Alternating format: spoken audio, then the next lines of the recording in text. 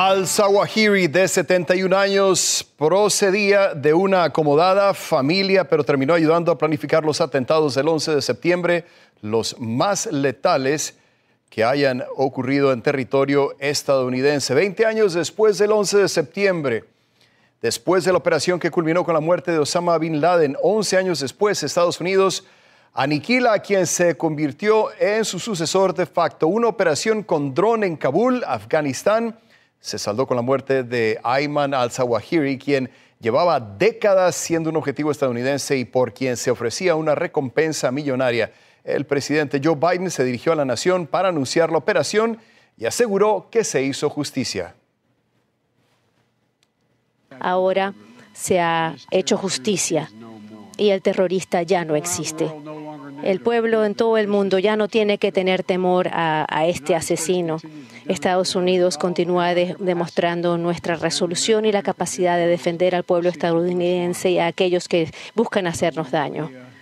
Nosotros lo hicimos muy claro el día eh, de hoy también, que no importa cuánto tiempo haga falta, no importa dónde se escondan, si ustedes son una amenaza para nuestro pueblo, Estados Unidos los va a encontrar y los va a aniquilar.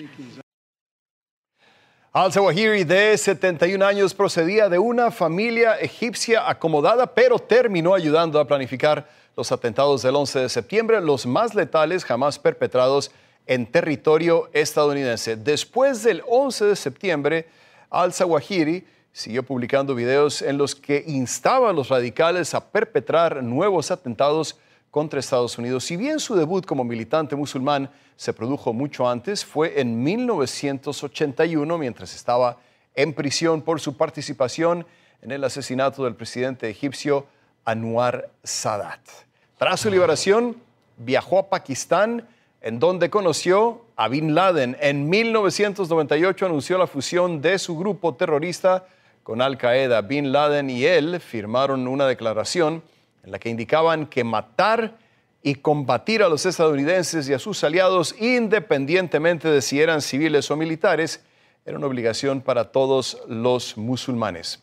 Semanas después, se produjeron los ataques terroristas en las embajadas estadounidenses de Kenia y Tanzania, que se saldaron con más de 200 muertos y 5.000 heridos. Luego vino el atentado contra el destructor estadounidense USS Cole en Yemen en octubre del 2000, que dejó a 17 personas muertas e hirió a otras 39. La culminación de sus sangrientos planes terroristas llegó el 11 de septiembre de 2001 con los ataques terroristas que dejaron casi 3.000 muertos en Estados Unidos. Al-Zawahiri llevaba muchos años huyendo. Ya había logrado escapar por muy poco de un ataque estadounidense en la escarpada región montañosa de Tora Bora, en Afganistán, en el que fallecieron su mujer y sus hijos.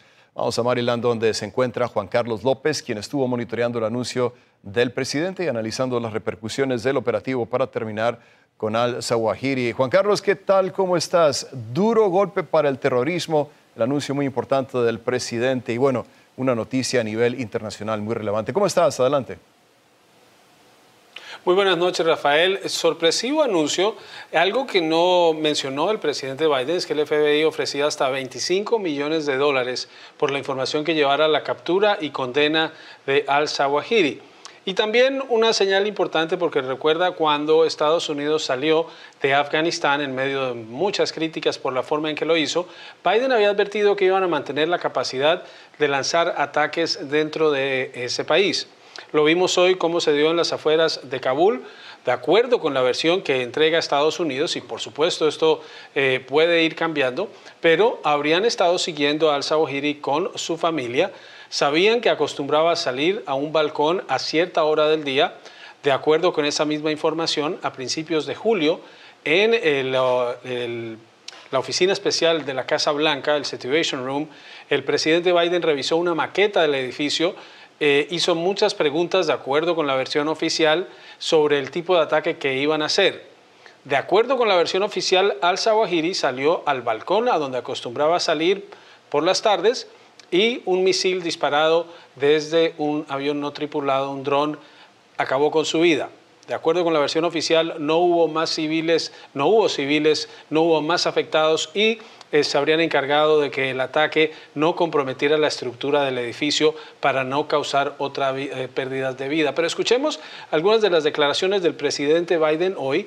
Las hizo desde el balcón eh, de la Casa Blanca porque aún está positivo para el COVID-19. Este operativo, Rafael, se dio durante el fin de semana eh, y es hasta hoy que la Casa Blanca confirma, dicen, para poder determinar la identidad de al-Zawahiri, lo que no han dicho es cómo pudieron confirmar la identidad del líder de Al-Qaeda. Eh, había que buscarlo y ubicarlo. Este año se entonces se dirigió a Kabul a reunirse con su familia.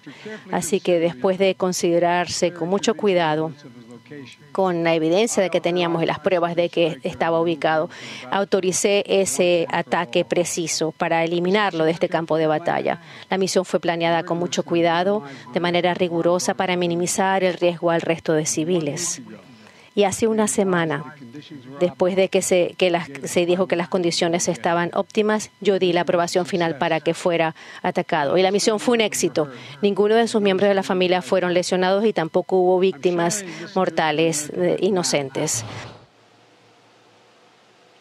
Al-Zawahiri, eh, nacido en Egipto, médico de profesión, hombre cercano a Osama Bin Laden, considerado actor intelectual, eh, como mencionabas, de algunos de los golpes terroristas más fuertes contra Estados Unidos, seguía siendo un objetivo de Estados Unidos y deja eh, su presencia en las inmediaciones de Kabul, que la relación entre el talibán y Al Qaeda sigue muy similar a lo que llevó a la invasión estadounidense de ese país y la pregunta es las consecuencias que habrá hacia adelante. Pero queda claro, Rafael, que eh, Estados Unidos tiene la capacidad de operar dentro de Afganistán, de hacerlo sin eh, por lo menos efectivos estadounidenses sobre el terreno, pero seguramente con una red de inteligencia y con colaboración dentro de Afganistán para poder dar un operativo de este tipo. Ciertamente, Juan Carlos, antes de despedirte, eh, ¿de cierta manera consideras que responde a los críticos del presidente Biden sobre la forma tan atropellada como salió de Afganistán este operativo? Pues eh, es una de las interpretaciones, pero hay que tener en cuenta que ya los opositores del presidente Biden dicen que la gente está preocupada por el precio de la gasolina, no por Al Qaeda, y que ya nadie se acuerda de Al Qaeda. Ya no, eh, parece que a muchos se le olvidó lo que fue el 11 de septiembre eh, y otros ataques en contra de Estados Unidos. Y es también una realidad, así funciona la inteligencia, así funcionan estos operativos cuando tienen los datos, empiezan a organizar y a pedir la autorización. Y hay que destacar, la autorización final la tiene el presidente de Estados Unidos. Biden lo dio durante este fin de semana mientras estaba en la Casa Blanca. Eh, eh, por lo menos con el positivo, según su médico eh, de cabecera ya no tiene síntomas, pero es una demostración del poderío militar de Estados Unidos a ver si eso tiene algún impacto o no a nivel interno, a nivel político, pero por supuesto que el presidente se lleva el crédito por el trabajo de los cuerpos de inteligencia y de eh, una, una gran red que está trabajando en temas como este y como decíamos, de por medio una oferta de 25 millones de dólares de recompensa, a ver qué papel jugó ahí. Sí, ciertamente, y una operación precisa, decía el presidente. Juan Carlos López, reportando en vivo desde Washington. Como siempre, un gusto saludarte. Gracias, Juan Carlos.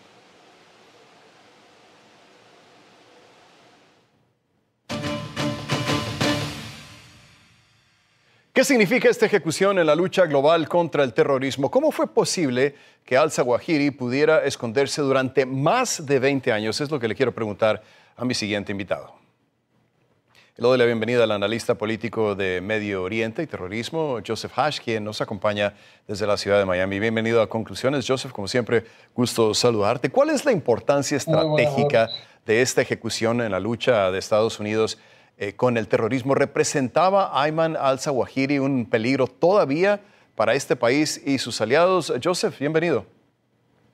Buenas noches. Mira, sí, Ayman al-Zawahiri eh, siempre fue una amenaza porque él es el autor intelectual que sus discursos y sus enseñanzas reclutan a operativos de Al-Qaeda y las otras organizaciones islamistas que reclutan a jóvenes a través del mundo entero. Eh, por mucho tiempo en, la, en las redes del Internet eh, se usaban los discursos de Ayman al-Zawahiri para reclutar a combatientes, para ir a combatir a con el Estado Islámico y para ir a combatir con Al Qaeda en Afganistán.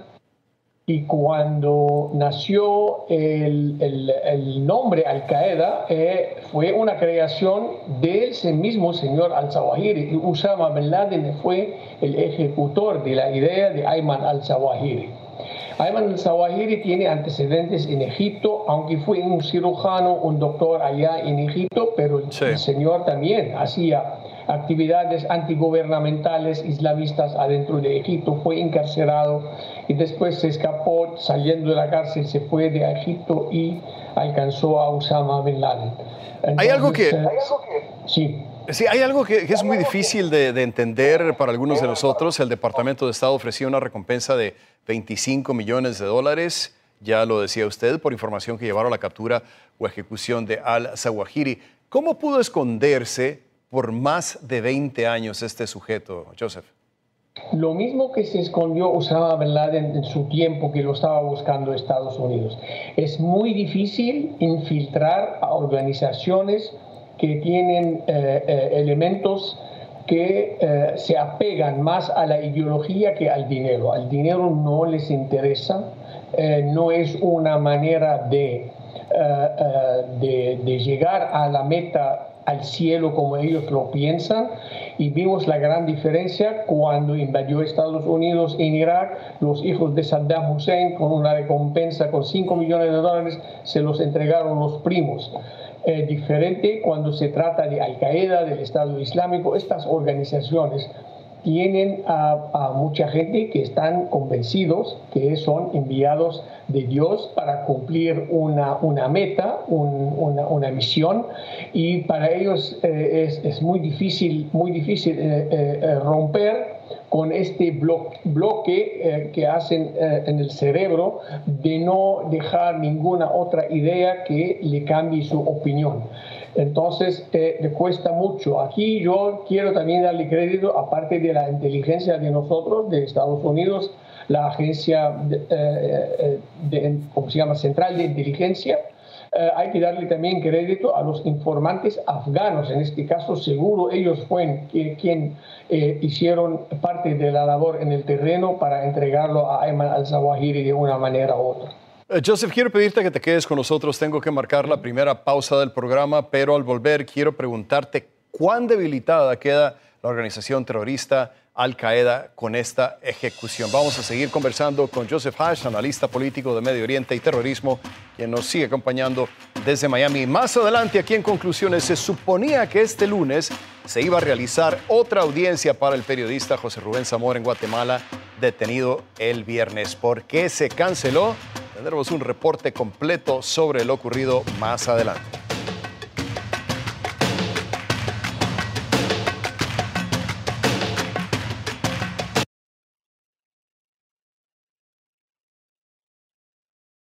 On the new season of United Shades of America, W. Kamau Bell explores everything from the woke wars to the wildfire crisis with empathy and humor. Watch new episodes of United Shades of America, Sunday nights at 10 on CNN.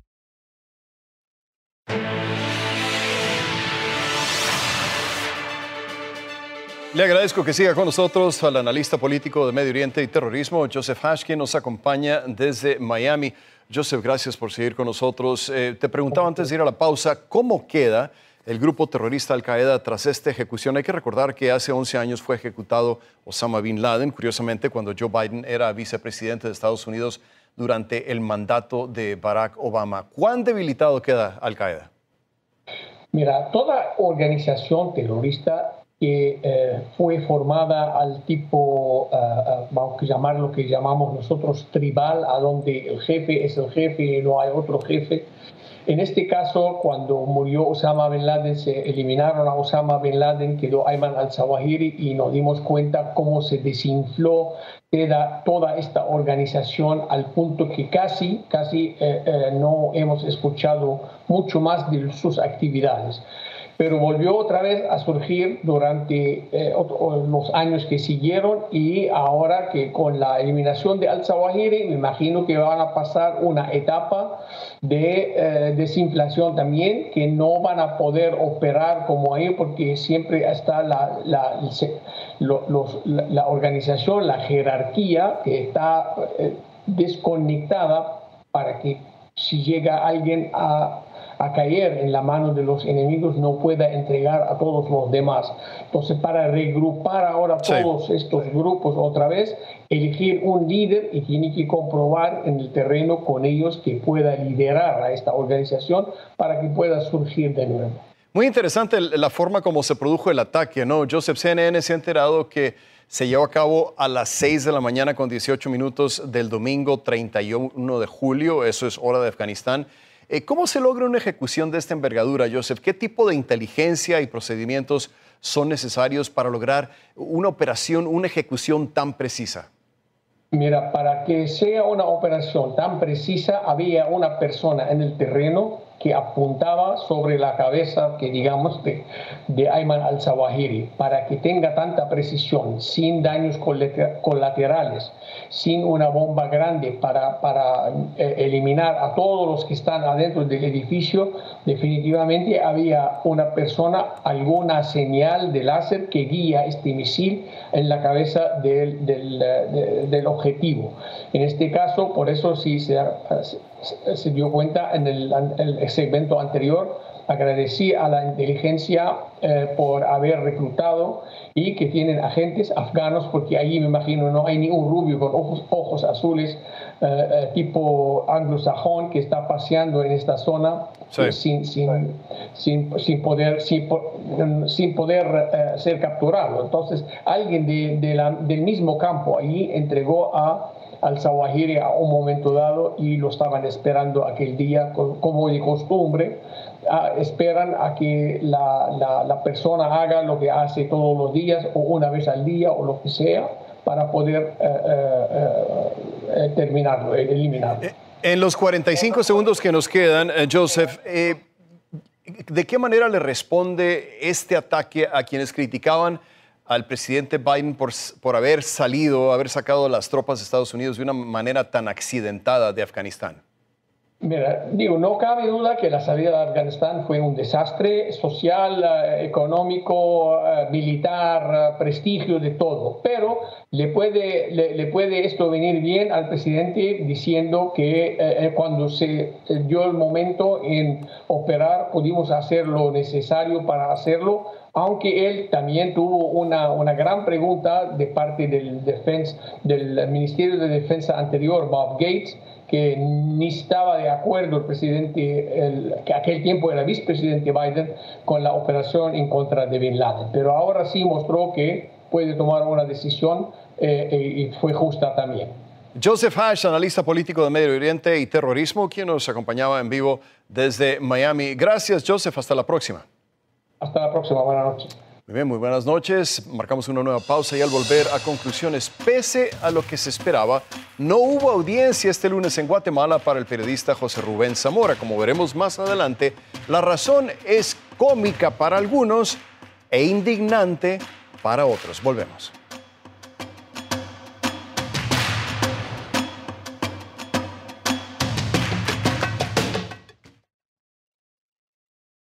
On the new season of United Shades of America, W. Kamau Bell explores everything from the woke wars to the wildfire crisis with empathy and humor. Watch new episodes of United Shades of America, Sunday nights at 10 on CNN.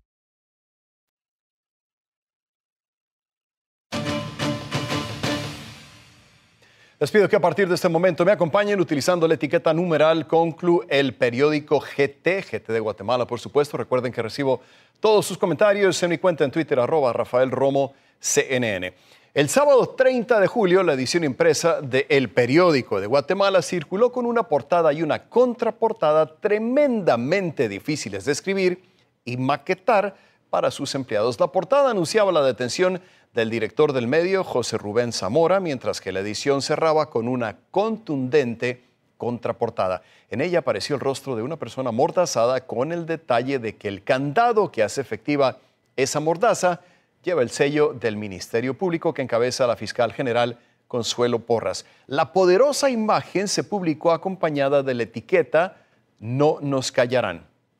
El fiscal especial contra la impunidad del Ministerio Público, Rafael Curruchiche, aseguró que la detención no tiene nada que ver con la actividad periodística de Zamora, sino con una investigación, dice él, de su presunta participación en lavado de dinero. Escuchemos.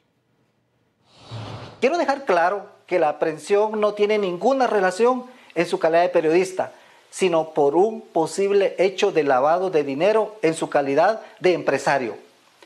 El señor Zamora Marroquín posiblemente tiene responsabilidad en los delitos de lavado de dinero u otros activos, chantaje, tráfico de influencias, así como el delito de proposición y conspiración para el lavado de dinero u otros activos. Asimismo, también fue capturada la auxiliar fiscal de la FESI, Samari Carolina Gómez Díaz, por su posible participación en el delito de revelación de información confidencial o reservada.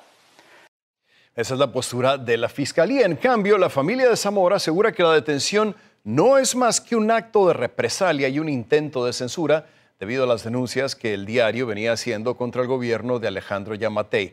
En opinión del propio diario, la fiscal general Porras concreta las amenazas vertidas contra el presidente del periódico. Incluso el mismo Zamora entiende que su detención fue la culminación de un proceso de persecución de larga trayectoria. Me persiguieron en las calles, a mí y a mis hijos. Eh, muy peligrosa y mi, familia se fue al exilio, allanaron mi casa ilegalmente. Eh, pero, digamos, no, llegaron como algo como ahora, que es una captura formal. Eh, no, tengo expectativas claras de qué tiempo va a llevar el proceso. Es muy importante aclarar que CNN está buscando desde el fin de semana las reacciones tanto de Yamatei, del presidente, como de Porras a las afirmaciones del periódico, pero hasta la noche de este lunes no habíamos obtenido una respuesta. Zamora tenía una audiencia judicial programada para este lunes, pero esta audiencia ha sido suspendida sin fecha. CNN trató de confirmar con el Ministerio Público de Guatemala la situación del periodista o si existe una nueva fecha para ese trámite, pero hasta ahora tampoco hemos recibido respuesta. Según le dijo a CNN el hijo de Zamora, la audiencia fue cancelada, imagínese usted, porque no se consiguieron patrullas para trasladarlo a los tribunales. Zamora lleva ya más de 72 horas detenido, fue la, la, detención inicial el viernes por la noche en su casa de Ciudad de Guatemala y durante todo este tiempo el periodista ha recibido innumerables muestras de apoyo que el periódico agradeció con un comunicado en el que la plantilla del medio reforzó su compromiso con la libertad de expresión y la lucha contra la corrupción y los abusos del poder en Guatemala. Con ese mismo espíritu, decenas de personas se plantaron este lunes frente a los tribunales de Guatemala en apoyo a Zamora al grito de Estamos con el periódico y una vez más, no nos callarán. Y es que la, detención de este veterano periodista ha desatado un gran revuelo mediático y numerosas reacciones mundiales. Por ejemplo, el investigador de Human Rights Watch, Juan Papier, dijo en entrevista con el periódico El País que cree que el arresto de Zamora, aquí cito, probablemente sea el hecho más grave que hayamos visto en los últimos años. Obviamente, añade, había anteriormente algunos procesos penales espurios contra periodistas, pero creo que esto se ha llevado a un nivel aún mayor y podemos estar ante un punto de quiebre, ante una señal que genera mucho temor para los periodistas independientes que aún quedan en el país investigando corrupción. El Centro Internacional para Periodistas pidió a las autoridades guatemaltecas la liberación inmediata de Zamora al considerarlo un periodista excepcional cuya valentía reportando ha sacado a la luz la corrupción en Guatemala durante décadas. Peter Stano, el portavoz principal para asuntos exteriores de la Unión Europea, consideró que el arresto de Zamora genera serias preocupaciones sobre la libertad de prensa en Guatemala y exigió que las autoridades guatemaltecas garanticen la seguridad y el debido proceso al periodista. La Sociedad Interamericana de Prensa, la CIP, también exigió la liberación de Zamora y recuerda que no es la primera vez que tiene que defender a José Rubén y su labor periodística porque dice, durante los gobiernos anteriores también fue reprimido por denunciar actos de corrupción. La activista de los derechos humanos y Premio Nobel de la Paz, Rigoberta Menchú, condenó categóricamente el allanamiento de las instalaciones del periódico y lo que calificó de detención arbitraria de Zamora. Esos hechos, señaló Menchú, constituyen una agresión más a los cientos de ataques contra periodistas y la prensa independiente en Guatemala. Presenciamos una cruzada contra el periodismo independiente en Guatemala. Se lo voy a preguntar a mi siguiente invitado. Le doy la bienvenida a José Carlos Zamora, hijo del detenido José Rubén Zamora, quien nos acompaña desde la ciudad de Miami y dadas las circunstancias, te agradezco muchísimo, José Carlos, que tengas la gentileza de volverme a acompañar. Inicialmente eh, te agradecía la entrevista que nos diste el sábado a solo horas de la detención eh, de su papá en el programa Mirador Mundial. Una vez más, te agradezco que tengas la gentileza de estar con nosotros. Bienvenido, José Carlos. Eh, para empezar, quiero preguntarte si el sábado me decías que habías tenido escasa comunicación con tu papá y que de hecho en el momento en el que llegaron las autoridades, tú estabas en conversación telefónica con él. ¿Has tenido la manera de, comunicarte con él desde el sábado? José Carlos, bienvenido. Eh, muchas gracias, Rafael, y, muchas gracias otra vez por, por invitarme y por tener los ojos en Guatemala. Eh, yo no he podido comunicarme con él. Eh, todo lo que he sabido de él es a través de, los abogados y de mi mamá y mi hermano menor que tuvieron oportunidad de visitarlo ayer. Em, pero está bien, tiene, tiene mucho ánimo y, tiene ganas de seguir haciendo periodismo. Sí, era lo que te quería preguntar. Eh, ¿Cuál es el estado de ánimo de tu padre? Hay que recordar que eh, me decías que fue traumática la, experiencia de ver cómo el viernes por la noche llegaron los agentes de la ley, eh, entablaron todo un operativo como si se tratara de un narcotraficante que, bueno, lo sacaron de su casa para, llevarlo a una carceleta. ¿Qué nos puedes decir sobre eso? Eh, pues eso de verdad es impresionante. El despliegue de, las autoridades y de la policía y el Ministerio Público para llegar a, traerlo era verdaderamente impresionante unas eh, fuerzas policíacas eh, sumamente armadas, eh, con, las caras tapadas, con, ametralladoras, alrededor de 20 patrullas policíacas. Que, eso, el contraste de, esa situación con el hecho que hoy el Estado no pudo conseguir una patrulla para llevarlo de la prisión a tribunales es, es increíble. Eh, eso te iba a preguntar, eh, José Carlos, eh, ¿qué reacción te mereció cuando te enteraste de lo que había pasado, de que no se pudo llevar a cabo esa audiencia? Pues es claramente ese continuar con el hostigamiento y con la represión y con una guerra psicológica, verdaderamente. no lo llevaron como una táctica o medida dilatoria. lo que buscan es extender el proceso eh, para mantenerlo en prisión, que es lo que quieren. Quieren mantenerlo en prisión a él y a la vez eh, congelaron las cuentas del periódico. Y con eso quieren eh, mantenerlo a él encerrado y asegurarse que el periódico deje de, circular y deje de hacer periodismo. Pero como bien mencionabas al inicio del segmento, no nos callarán. y esto creo que es interesante porque el caso de mi papá es un ejemplo de un ataque sistemático de la administración de Yamatei eh, en contra de la democracia, eh, en contra de las libertades y los derechos humanos. Empezó, eh, creo que más o menos en el segundo año de su administración, persiguieron a los activistas. más o menos de noviembre para acá, empezaron a perseguir a los fiscales que llevaban los casos de corrupción, luego persiguieron a los jueces y ahora le toca a la prensa. Eh, y, el caso de mi papá pues, personalmente es importantísimo, pero creo que es un eh, ataque y un acoso sistemático a, las libertades, a la democracia. José eh, Carlos, decía la Fiscalía que la razón y supongo que escuchaste lo, que ha dicho el fiscal, que la razón por la que tu padre fue detenido es a raíz de un caso de lavado de dinero. ¿Cómo le responde la familia Zamora a esta acusación de la Fiscalía de Guatemala?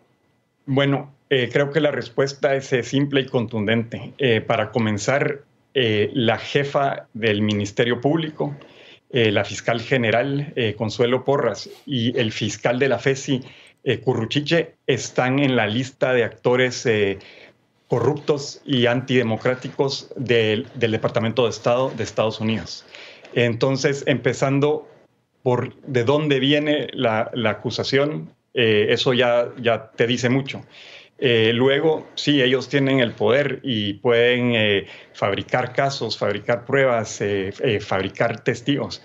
esto es de verdad un, es todo un montaje para coartar la libertad de prensa, sobre todo de, los periodistas críticos que han estado enfocados en traer a luz eh, algunos de los casos de corrupción más grandes de la administración de Yamatei. La lista de apoyo para tu padre es larguísima. Mencionaba ya dentro del principio de este segmento algunas organizaciones, algunos defensores de derechos humanos, periodistas que, están pidiendo la liberación de tu padre y que se siga el debido proceso.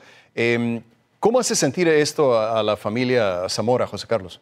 Es, eh, eh, estamos, eh, es difícil conseguir las palabras para expresar lo agradecido que los agradecidos que estamos. Nos sentimos agradecidos y acompañados eh, es, verdaderamente abrumador. Eh, las muestras de, los medios, las muestras del seguimiento en cobertura, la muestra de todas las organizaciones de, libertad de prensa y derechos humanos y la muestra de la ciudadanía, de los guatemaltecos que han salido a las calles, que han eh, estado en, en plantones en frente de tribunales y que han estado exigiendo que se respete la democracia y la libertad de expresión. Es, eh, como hablabas al principio eh, y, cuando mencionabas eh, Human Rights Watch, es un punto de quiebre, debería ser un punto de quiebre. Y creo que incluso mi, mi, papá lo dijo, o sea, es muy difícil la situación, es difícil estar preso, pero si esto lleva a que la sociedad se active y a que todos exijan que haya democracia, que se respeten los derechos y se respeten las libertades, vale la pena estar encerrado. En, los, en los 30 segundos que nos quedan, eh, José Carlos, si por alguna casualidad tu padre, José Rubén, nos está viendo en este momento directamente, ¿qué te gustaría decirle? Quiero decirle que, que gracias por su trabajo, eh, gracias por siempre haber sido un gran papá eh, y que lo admiro, lo admiro como papá y lo admiro como periodista. Eh, admiro su visión y vocación que por más de 35 años lo ha llevado a situaciones como esta. Y a veces hemos tenido que compartir esto con él, pero creo que toda la familia cree profundamente en la democracia y en que su trabajo es importante para crear un mejor país. José Carlos, tomo muy en cuenta eh, lo difícil que es este momento para la familia Zamora y te agradezco infinitamente eh, que tengas el valor de hablar públicamente sobre el caso de, tu padre. Y bueno, sigamos en contacto, por favor, eh, para, para, que nos digas qué es lo que está pasando con este caso y si ha habido algún avance. José Carlos Zamora es hijo del detenido José Rubén Zamora y nos acompaña en vivo desde Miami. Gracias, José Carlos. Les deseo la mejor de las suertes. Muchas gracias a vos, Rafael, y gracias a todos. Muy buenas noches. Vamos a marcar una nueva pausa aquí. Conclusiones. ¿Es la detención de José Rubén Zamora un síntoma de un mal mayor? Analizaremos la persecución de la que son objeto muchos periodistas en América Latina con la periodista y antropóloga Irma Alicia Velázquez Nimatuj al volver.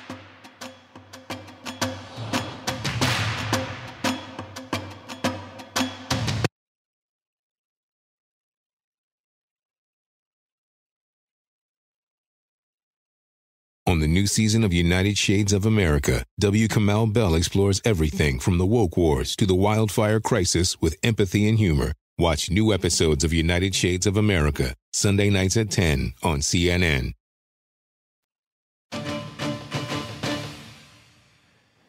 Quiero darle la bienvenida a la periodista y antropóloga guatemalteca Irma Alicia Velázquez Ni Matuj. Gracias por estar con nosotros. Irma, bienvenida al programa. Eh, Queríamos invitarte, Irma, porque aparte de ser una pluma poderosa, periodista, antropóloga, una intelectual, eh, pues también, y en referencia al caso, eh, en cuestión, el caso de José Rubén Zamora, eh, pues ha sufrido en carne propia esta persecución que eh, obviamente no es exclusiva de Guatemala, sucede en México, en mi propio país, sucede en Sudamérica, en, Venezuela, bueno, ya ni digamos Venezuela, Nicaragua, muchas partes de nuestra América Latina.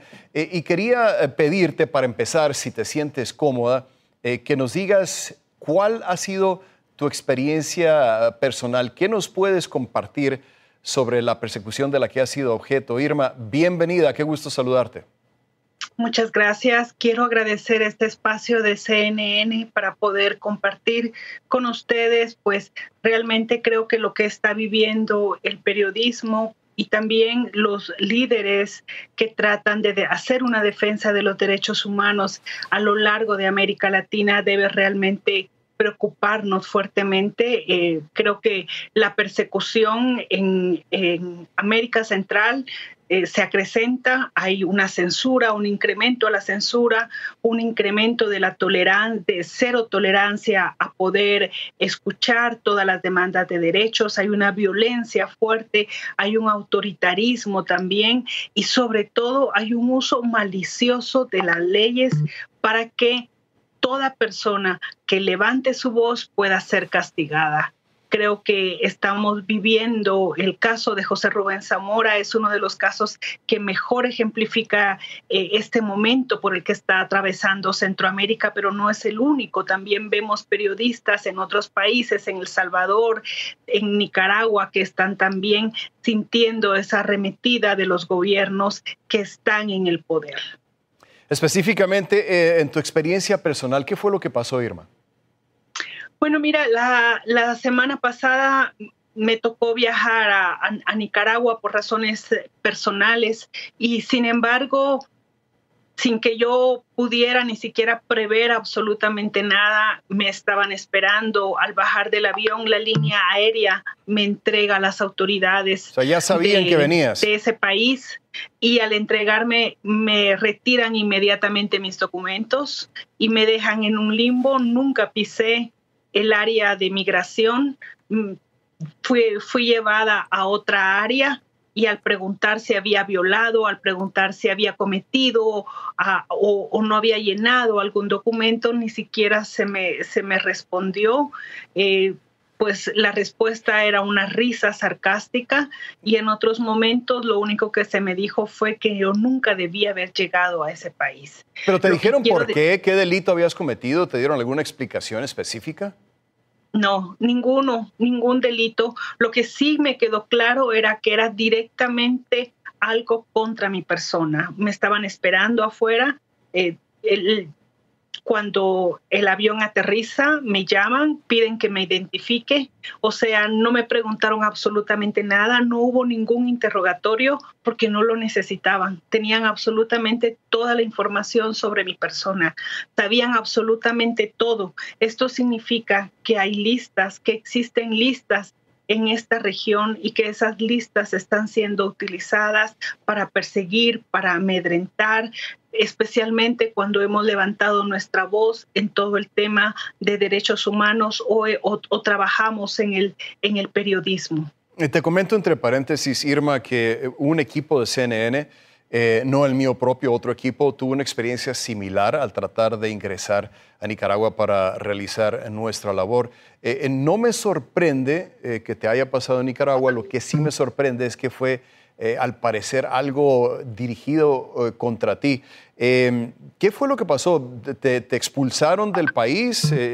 ¿Pudiste salir sin que fueras víctima de, más abuso, de más vejación? Bueno, mira, por varias horas yo estuve en un limbo porque nunca se registró mi ingreso, no, no hubo, no se me permitió llegar a esa área. Así que eh, después de dos horas, sin saber qué iba a pasar conmigo, me informaron que iba a salir para Panamá, que iba a ser expulsada a Panamá. Y fue así, no se me entregaron mis documentos.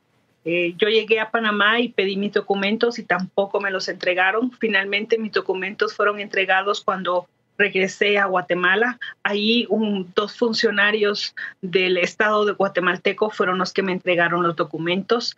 O sea, es, es vivir esa tensión de que uno no tiene los documentos para moverse, sabiendo que estás en un espacio internacional que se está con cierta fragilidad, que se está sin saber qué realmente va a pasar con uno. Yo creo también que ellos tuvieron el poder de poder dejarme ahí, me mostraron que tenían ese poder, ¿no? De que se está en un momento en que no se habla, no se dice absolutamente nada, así que como salí, también pude haberme quedado sin que hubiera habido ningún registro de mi ingreso. O sea, vemos que todas estas violaciones son permanentes y son cada vez más hostiles y se están incrementando. Esto es lo peligroso para una región tan pequeña como la nuestra. Sí, sí, sí. Y cuando eh, se empieza a deteriorar la democracia, uno de los primeros síntomas es precisamente que se empieza a coartar la libertad de expresión y es lo que estamos viendo no solamente en Guatemala, sino en otros países. Ahora, en el caso específico de José Rubén eh, Zamora, eh, Irma, a la comunidad internacional de cierta manera le sorprendió lo ocurrido. Supongo que para ti como guatemalteque, que has estado observando este tipo de sucesos por mucho tiempo, ¿no fue una gran sorpresa, Irma? Bueno, mira, José Rubén Zamora es un personaje importante en la vida política, económica y periodística de Guatemala. Él fundó el periódico desde 1996, justo el año en que se firma la paz en Guatemala entre los grupos guerrilleros y el, y el Estado guatemalteco. Estamos hablando de 36 años de tener un periódico que ha estado permanentemente documentando toda una serie de abusos de, los diferentes funcionarios, desde funcionarios que están en el Ejecutivo hasta los que están también en provincia. O sea, leer el periódico, acceder a, sus um, diferentes versiones, tanto electrónicas como físicas, es acceder a esa historia, diríamos, de extracción de lo, de lo más importante que tiene el país, sus bienes naturales, pero también la muerte de tantas personas y la corrupción absoluta en la que han caído los gobiernos. Así que José Rubén Zamora ha sido siempre el blanco de los gobiernos. Cada gobierno ha buscado tratar de minar el trabajo de José Rubén Zamora de múltiples maneras. Sin embargo, no lo habían podido lograr. Es, es, es hasta en este momento en que se le acusa de un delito de lavado de dinero, que vemos que no es novedoso, que en Centroamérica también se está usando, para tratar de hacer que José Rubén Zamora finalmente termine en donde ellos quieren, con el objetivo fundamental de destruir el periódico. Eso es lo que está detrás. Y detrás del periódico es acabar con cualquier voz que sea crítica, analítica, pensante en medio de esta toma del, Estado que estamos viviendo. Así que no es extraño lo que está viviendo José Rubén Zamora. Sí es extraño que eh, estén utilizando de una manera pública con tanta impunidad todo el sistema de justicia, porque lo están poniendo todo, absolutamente todo, para evitar que José Rubén Zamora tenga eh, pues un, un, juicio justo y pueda acceder en condiciones de igualdad a una defensa en el marco de los derechos humanos. Sus derechos humanos fueron violados desde el primer momento hasta la actualidad. No ha recibido un trato justo. Irma, te, agradezco muchísimo esta entrevista. Eh, le decía a José Carlos Zamora, hijo de José Rubén, que se necesita valor para hablar en este momento. Considero que tú también como guatemalteco eres muy valiente al venir a este programa y te lo agradezco infinitamente. Te deseo mucha suerte, Irma. Es un placer y, tengo que reconocerlo también, un honor platicar contigo, aunque sea a la distancia. Gracias, Irma. Gracias a ti. Muchas gracias y feliz noche. Ya llegamos al final de esta edición de conclusiones. Soy Rafael Romo, en ausencia de su titular Fernando del Rincón. Gracias por su atención. Nos vemos mañana una vez más.